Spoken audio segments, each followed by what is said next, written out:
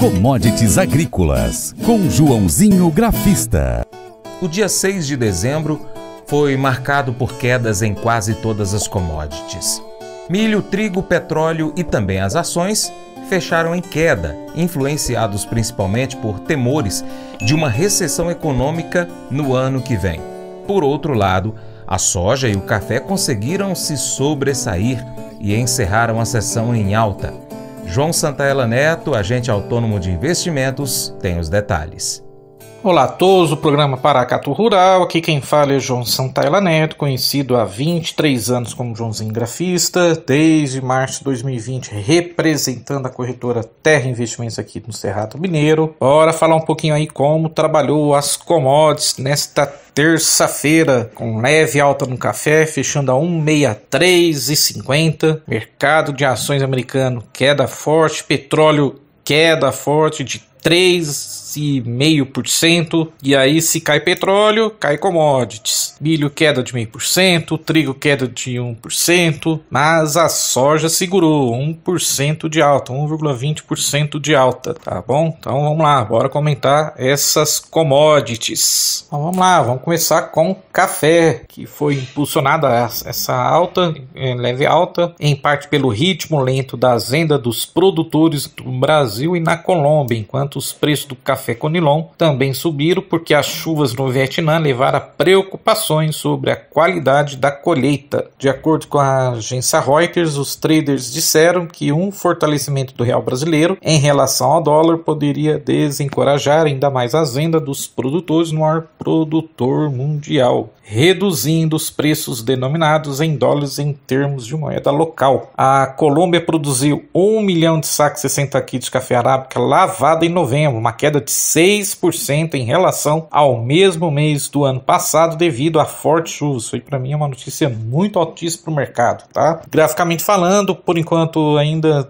os preços estão tentando, nas quinta e sexta-feira da semana passada tivemos uma, uma queda forte no mercado, saindo de 174 para 162, mas eu não gostei, pelo menos da figura que fez o técnico, que é aquela famosa figura chamada doji, né? Faz a cruz que sinaliza uma possível realização para essa quarta, quem sabe até podendo ficar testar o suporte no 160 e 155. Mas graficamente falando, fechou exatamente na média móvel de 20 dias, então vamos torcer para o mercado continuar respeitando o 63 para ganhar fôlego para tentar voltar para casa dos 170, 174 e aí sim, aí depois é só lá no 182, 190 na minha opinião. Bom, vamos lá, vamos falar do petróleo e dos grãos. Rapidinho só sobre falar que o petróleo então, como comentei, teve uma queda forte de 3,5% petróleo nos Estados Unidos para 74 dólares e 25 barril é o menor valor de fechamento neste ano. Precisa fechar em queda após negociações intensas nesta terça para seus níveis mais baixos neste ano, com o petróleo terminando abaixo de 80 dólares por barril pela segunda vez em 2022, enquanto os traders fugiam do mercado volátil em uma economia incerta. Então vamos que vamos, vamos para os grãos agora. Soja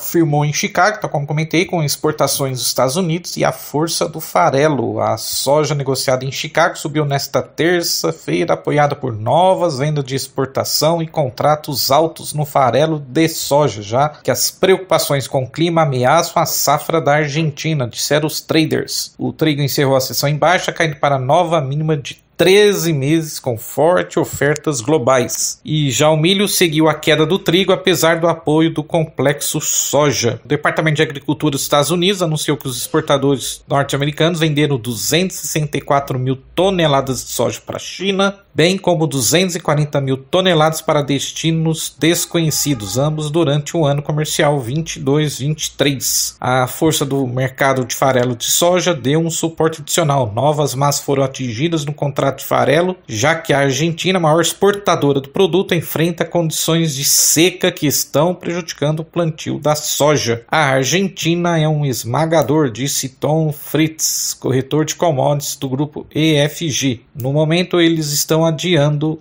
o plantio. Acho que isso está ajudando o mercado de farelo. Então vamos lá, vamos para as cotações. Contrato soja janeiro mais ativo da Bolsa de Chicago, então subiu 17 centavos para 14 dólares e 55 por bushel. O milho o mais negociado, caiu 3 centavos para 6 dólares e 37,25 por bushel e o trigo caiu 10 centavos a 7 dólares e 29 por bushel. Depois de recuar para 7,2350, o nível mais baixo para um contrato mais ativo desde 15 de outubro de 2021. Vamos lá, rapidinho, ainda continuando sobre o milho, de acordo com a agência Safras e Mercado, o mercado foi pressionado pelas perdas do petróleo pela força do dólar, né, o milho. Além disso, o indício de um aumento dos estoques norte-americanos para 22, 23 e a entrada de oferta mais barata na região do Mar Negro, que pressiona o vizinho trigo, atua como fator negativo. Os investidores também começam a se posicionar frente ao relatório de oferta e demanda de dezembro do USDA, que será divulgado nesta sexta, dia 9, às 14 horas. Analistas consultados pelas agências internacionais apostam que os estoques finais de passagem da safra 22-23 norte-americano devem ser indicados em 1,24 bilhões de bushel, ante os 1,182 bilhões de bushel indicados no mês passado. Vamos para o gráfico. Rapidinho, gráfico da soja janeiro Chicago. Então tivemos uma boa alta né, nesta segunda-feira, nesta terça, desculpa. Conseguiu ficar acima da média móvel de 20 dias, nos 14,40 14,40 e testou a resistência que é os 14,70, mas fechou a 14,55. Então, acima dos 14,70 a gente tem os 14,85 e temos os 15 bola bola e abaixo dos 14,40 aí acredito que vão tornar os, os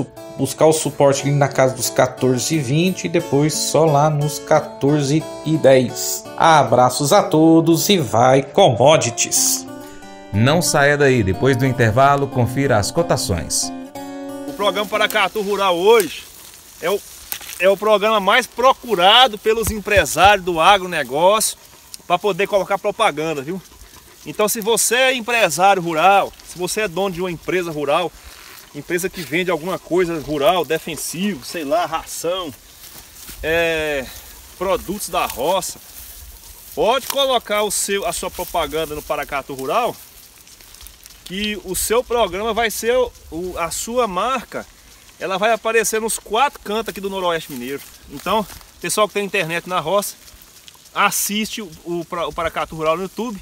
E aqueles que não têm internet, tem o rádio, ouve o programa Paracatu Rural, tá bom? Então você que é empresário rural aí, ó, põe sua propaganda aí que você não vai estar tá perdendo não, viu pessoal? Cotação Bom, então vamos conferir as cotações agropecuárias com fechamento em 6 de dezembro de 2022. A soja no Porto Paranaguá, saca de 60 quilos, fechou em R$ 184,50. A alta foi de 1,63% no dia. Arroba do algodão em São Paulo, R$ 175,61, queda de 0,46% no dia, mas no mês, no acumulado, é positivo, em 0,73%. Milho 60 quilos em São Paulo, 86,10. Alta de 0,65% no dia, mas negativo no mês, 0,12%. Trigo tonelada no Paraná, 1810,04. Queda de 0,09% no dia, mas é positivo no acumulado do mês, em 0,72%. Arroz em casca 50 quilos no Rio Grande do Sul, 89,41 alta de 1,22%, mas no mês é negativo em 1,39%. Cordeiro vivo, o quilo, em Rio Grande do Sul, R$ 7,50 a 10 reais. Suíno vivo, quilo em Minas, R$ 7,26. Frango congelado, quilo em São Paulo, R$ 7,89. A variação no mês é negativa em 0,13%. Ovos Granja Branco Extra 30 dúzias no Ceasa Uberlândia, 189 reais. Nelore, 8 a 12 meses, Mato Grosso do Sul, R$ 2.328,93, alta de 0,64% no dia, mas negativo no acumulado do mês em 2,99%. Arroba do Boi Gordo em São Paulo, R$ 290,50, queda de 1,02% no dia, positivo no mês em 1,97%. Arroba da vaca gorda em Urucuia, Minas, 239,50. Valor de referência do leite padrão entregue em novembro, pago em dezembro, com Leite Minas, R$ 2,45,72. Mas eu vou dizer uma coisa pra você, viu? É, se quiser colocar propaganda sua aqui nesse programa, ó, eu vou dizer um negócio, você vai ter um resultado bom demais, senhor. É isso mesmo, é facinho, facinho, senhor. Você pode entrar em contato com os meninos ligando no telefone deles, é o 38, é o 991810123, bem fácil. É muito bom porque aí a sua empresa vai sair dentro de um programa que é ligado aí ao homem para mulher do campo. É nós que vai estar tá assistindo e também vai ver sua propaganda. É bom ou não é, só? Quero fazer um convite especial para você. Seja parceiro do Paracato Rural.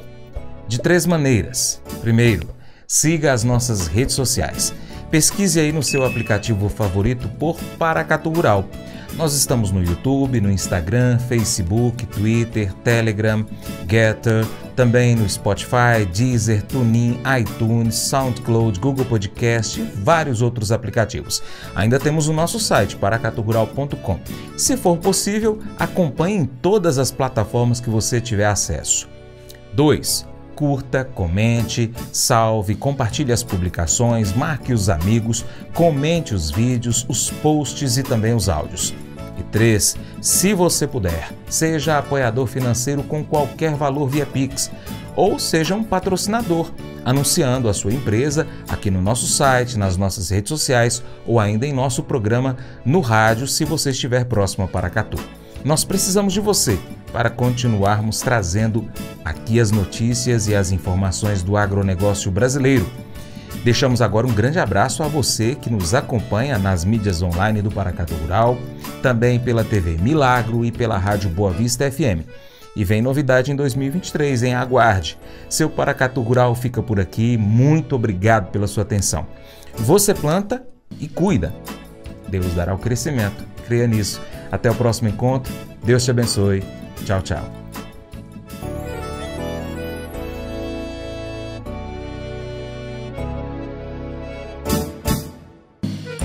Acordo de manhã para prosear no mundo do campo, as notícias escutar. Vem com a gente em toda a região com o seu programa Paracatu Rural. Tem notícias, informação e o mais importante, sua participação. Programa Paracatu Rural. Programa Paracatu Rural.